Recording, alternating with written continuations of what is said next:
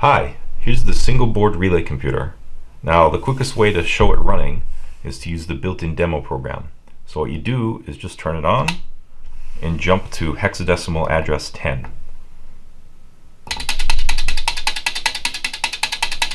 Now I can hit the step button and single step through the program or hit run until it completes.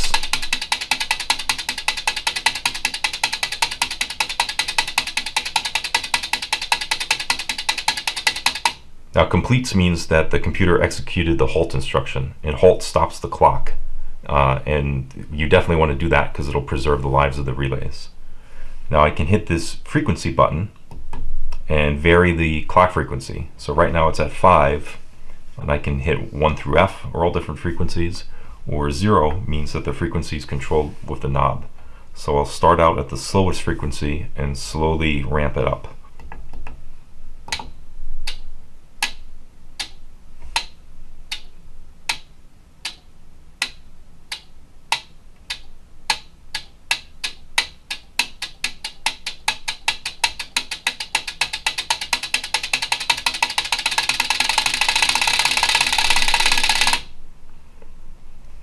It again at that high frequency. It's kind of neat.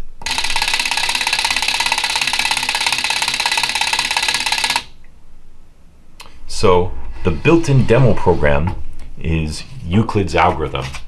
Euclid's algorithm finds the greatest common divisor between two numbers, in this case 144 and 233, by repeatedly subtracting the lower number from the larger number until you hit zero. um, Euclid's algorithm is pretty efficient, but for a demo program, I want, you know, I want it to run for a fairly long time.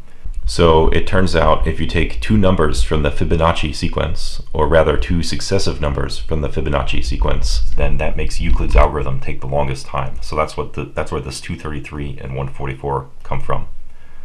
And their greatest common divisor is 1. Now we can modify the built-in program and have it try to find, you know, uh, kind of a simpler uh, greatest common divisor. So let's try 50 and 100. So the program starts at address 10, so let's go to 10. And here's hex 90 is the 144. So I'm going to change that to 64, which is a which is decimal 100.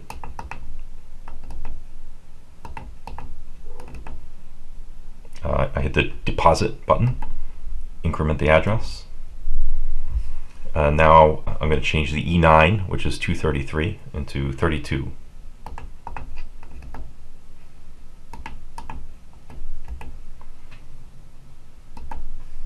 Now let's set the address back to zero so we can monitor the, uh, the variables. And run this. It doesn't run for very long because the greatest common divisor between 64 and 32 is 32, which is 50 uh, decimal. Now, let's say you want to write your own program. How do you do it on the Relay computer? Well, let's look at the instruction set architecture, and you will see that it is not much different from any other 8-bit uh, computer, for example. So I'm going to zoom in on this. This is the programming model. These are all the bits that the program gets to see and modify. So what do we have? We have an 8-bit program counter. We have 256 memory locations. And we have a carry flag. Now I have to uh, explain each memory location has 32 bits for an instruction, but the relay computer can also read and write data to this memory, but it gets to read and write only the lower 8 bits of each of the memory locations. Now that those 8 bits correspond to one of the instruction operand fields. And the reason for that is it allows you to make self-modifying code, which uh, we definitely take advantage of uh, in the relay computer to, to simplify the computer. Now here's the instruction itself. The upper 16 bits are control bits. So as an instruction is going through the uh, data path, these all these bits control what happens to it. This is kind of like a uh, what they used to call horizontally microcoded design. And by having each control bit separated out like this, instead of having you know, a, a, a uh, an encoded instruction set, it saves having to have an instruction decoder, which saves relays. Um, you know, the only cost is the instruction is wider, but that's fine because that's coming from the semiconductors. The lower 16 bits contain two uh, instruction operands. Basically, they are memory addresses. So, 8 bits for uh, one memory address, 8 bits for another memory address. Although the upper 8 bits can also be, instead of being used as a memory address, can be used as immediate data. And the lower 8 bits can also be used as the target address for jumps. And that's, that's also important for self-modifying code. This is basically how we do subroutines. So what instructions do we have? So if you've never seen one of these instruction set reference charts, this is what you have. An opcode, the operation code in hexadecimal, uh, an assembly language mnemonic. This is what you would type in assembly language. Now there's actually an assembler built into the relay computer. You plug in a USB to serial adapter and you can type in programs in basically this syntax. I'm not going to I'm not going to show that now, but uh, you can do it. and here's a concise description of what each instruction does. So what instructions do you have? Very typical ones that you would find on a, any computer, right? So you have halt. Halt actually stops the clock, which you want to do to preserve the relay life. You have out. Out writes to the output port. There's a 4-bit output port. So you can either copy a memory location to the output port. That's what this these brackets mean around AA. Get you know AA is the the operand field in the instruction, and we just copy the contents of that memory location to the output port, or write an immediate data. So in this case, we write the the value in the operand field itself to the output port. In, so we can read from an input port and write its contents into one of the memory locations clear a memory location, increment a memory location, decrement a memory location, one's complement a memory location, two's complement a memory location. There's rotates, shifts. Uh, very important. There's a, you know, any computer you need to be able to move data.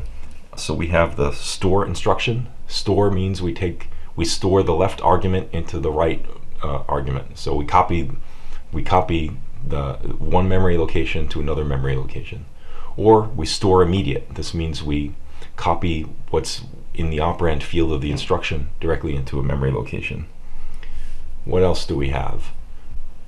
Add, you know, add, add the two arguments and save the result on the left side. We also have add to, which is the same as add, except we store the result in the right side. So you think of this as add the left side to the right side, store, store the result in the right side. Add to with an immediate, so you can add a constant to a memory location. Reverse subtract, that means you subtract the left side from the right side, and in this case you store the result in the left side. Reverse subtract to, where you store, where you subtract the left side from the right side and store the result in the right side. We also have bitwise and and bit or bit clear. It's also basically add, but with one of the arguments uh, inverted. There's a jump instruction, unconditional jump, transfer control to uh, a different memory location. Uh, a whole set of conditional branches. For example, jump if the memory location at AA is not equal to zero, then you jump to this address. This is kind of what this is saying in a concise form. If, if contents of memory address AA is not equal to zero, then jump, load the program counter with, with the B side. Also, there's a jumped subroutine. Now what this does is kind of interesting. We save the return address in some memory location, AA, and then we jump to uh, some other uh, address, uh, which is from BB. What's going on here is the way you make subroutines on the relay computer is to, at the end of the subroutine, you have a jump instruction, and you use this jump to subroutine to insert the return address into that jump instruction. This is a trick from uh, early computers, and it avoids having to have a stack. Uh, a subroutine return stack. You can make a subroutine return stack, but it just is not built into the relay computer to save relays. Two more interesting instructions. There's increment and jump if the result is not equal to zero. So this is a way of making quick loops. So you know you store the negative of the loop count into some memory location, keep incrementing it, and when it when it as long as it doesn't hit zero, then loop. now, so now we have all these instructions. Let's write a, a program with them. So I'm going to write a simple program that makes use of the I/O uh, features of the relay computer. Just a simple loop that sets an I/O bit. I have to zoom out a little bit. So this is uh, an old style assembly language coding form, and uh, so what we have is the uh, instruction address. This is what this is the machine code that it's going to be assembled to. Here's a label. Each address each address can have a label and the instruction. So I'll teach you how to program a assembly language really quick. So first of all, we need some variables. Let's say counter, and we'll put that at address zero. Uh, a temporary variable. We'll see why that is in a minute. We'll put that at address one. Now we'll, we'll uh, here's the start of the program. You can put it anywhere in memory you want, but let's just put it at 20. Uh, so the first thing we'll do is clear the counter. Now we're going to have an inner loop, so we'll call this loop, and we'll increment the counter. Now what we need to do next is uh, determine if the loop is done. So we need to, to compare the counter with some value. So the way to do that is there was a, if, you'll notice, there was a, subtract instruction, but there was not a compare instruction that discards its uh, subtraction result. So what you have to do is just copy the counter to a temporary variable, subtract the, the final counter value that you want from it. Now, if you if you reached, in this case, 10, if we reached 10, that means we're done. So what we do is jump if not equal to zero, temp. So if temp, if this subtraction results in temp not equaling zero, then we loop again. Okay, so this is our inner loop. Basically, we have like a little delay loop, and we can watch the counter on the seven segment display. So when we're done with the loop, what should we do? Well, let's set an output bit. We'll set it to one, and then we'll immediately set it back to zero. And then let's repeat the whole thing. So go back to begin. Okay, so now we have to assemble this. So let's write in all the addresses. That way we know for jumps what the address is going to be.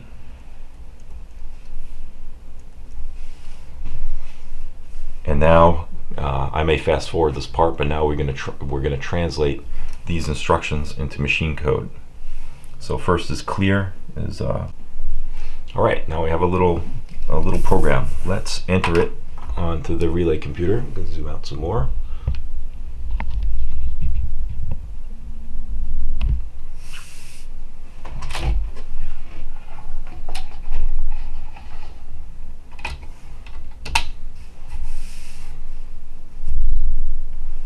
So again, we'll set our address that we want to write to. And I'll show you a quick way to write data. So by the way, I could have made the relay computer with, with uh, traditional switches on the front panel, but having used such a computer, they're very they're actually very tedious. The hex entry key keypad is much more fun. so here we go, 48.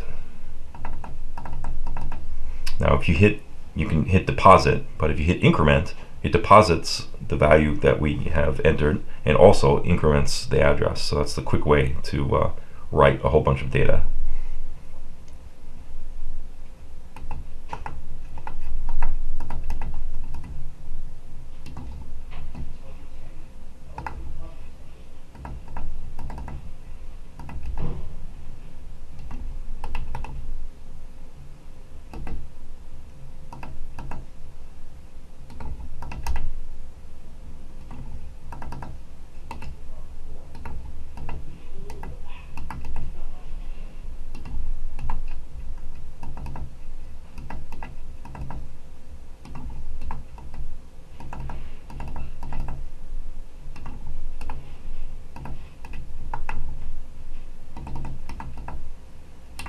There we go. So let's set the address to zero so we can monitor the, the variables while the program is running. Now you'll notice that the decimal points are set. So let me explain that a little bit. So remember that each memory address can, can contain an instruction or data. Well, when you turn on the relay computer, all the memory addresses are loaded are, are initialized with the halt instruction. The halt instruction, besides halting the computer, it also tells the front panel interface that that memory location probably has data. Um, since only the, low 8 bits are, are used for data, we want to make the best use of the 7 segment display. So at address, this is address 0, and we only show 8 bits, and then this is what's in address 1, this is what's in address 2, this is what's in address 3. You know, if there's, a, if there's not a halt instruction in the memory address, then see the decimal points are off and it means that it's showing 32 all 32 bits from address 20 all right so let's try to run the program. It should just loop over and over again and we should see it counting.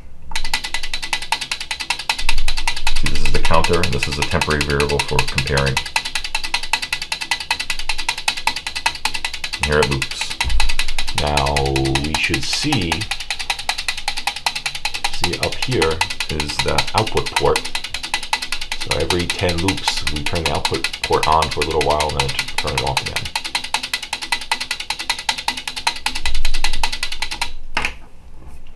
So what can we do with this output port? Well, it's a relay computer, so the output port has relay contacts, this uh, common normally closed and normally open relay contacts. And then this right here, this is the input port, which is just a switch closure. You can hook a switch up to it but this is 12 volts from the power supply. So you can use that in combination with the, the relay contacts to power some peripheral. So let's hook up, I have this old style bell. So we can ring a bell. Let's wire this in. So here is the uh, common connection, ground side. And here's a jumper for plus 12 to normally open.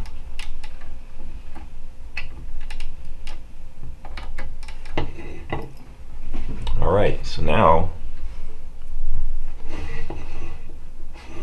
let's see. Uh, let me zoom zoom out a little bit more.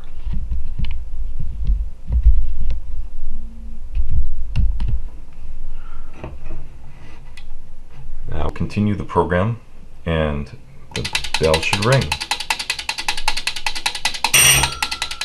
There we go.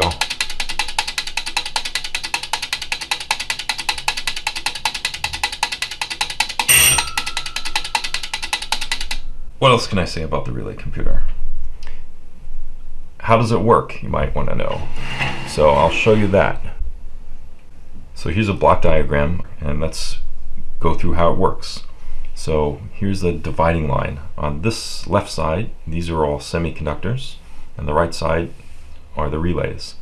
So the relay computer is a single cycle per instruction computer. So in one cycle, there's a sequence that it goes through. So let's let's go through that sequence quickly. So the program counter goes to one of the memory ports, which reads the 30 the 32-bit instruction to execute, and that is presented on this dark line right here. So what you have is uh, control bits that control the data flow. So what, what else happens with these 32 bits is the A operand is immediately connected to another memory port which reads the A data and the B operand or the B operand field from the instruction is connected to the third port which reads the B data. So the A data and the B data are the two inputs to the uh, ALU. Now we have a bunch of control bits First of all, this in bit, we can select, are we going to read from the input port or are we going to read from the memory as usual? Next is the complement bit, which inverts all the bits in the, in the A data path. On the B side, we have the enable bit, B enable, which means, you know, we either have zero going to the B side of the ALU or we have the, the memory that we read. Now we have the ALU, and the ALU, ALU produces the sum, including carry, and a bitwise AND. The AND bit selects which of those outputs we want to have. There's a, a ROR is rotate right bit. We can rotate the output of the ALU. Here's a JSR bit, which means jump to subroutine. That selects whether we're going to write the we're going to write back the ALU data as usual, or if we're, we're going to take the next program counter address. So this is this is how we insert the subroutine return address into memory some, somewhere. There's condition test logic, which uses four bits. And basically, we have the negative, zero, and carry. Use the carry flag over here that are used to test for various conditions. If the condition is true, then we jump to the uh, B operand. Otherwise, we uh, use the incremented program counter as the, the next instruction address. There are some bits to control the carry flag. You know, is, is the carry, are we going to use the carry flag in this instruction or not? And should we invert it? So if the carry, if we don't use the carry flag, then if we invert it, you, insert a 1. So this is one way to, to increment with the ALU. And that is about it. You know, there's, there's, you could, this three port memory is one of the ways we use to re reduce the relay count because you'll notice that there, there's no instruction register. The instruction register is really on the semiconductor side. But, you know, we're already, we're already cheating by using the, uh, by using semiconductors for memory, so we might as well make the most of it, and this is one of the ways to do it. Now, what else can I say about the relay computer? That's kind of how it works. Let me zoom out. So I can show you, you know, where, where are these things uh, on the board. So there are two microcontrollers. This is the main micro, microcontroller right here. And this, this has the memory and this is a keyboard and display microcontroller. The only reason I'm using two mi microcontrollers is because it lets you use these small DIP packages. When the microcontroller reads from the memory, what does it do? It presents it through these serial to parallel shift registers and then through level converters. And the, this is what drives the CPU, the relay CPU. The CPU generates a result that has to get written back into memory. So these two chips are parallel to serial shift registers, which the CPU then reads the data that uh, is written back into memory.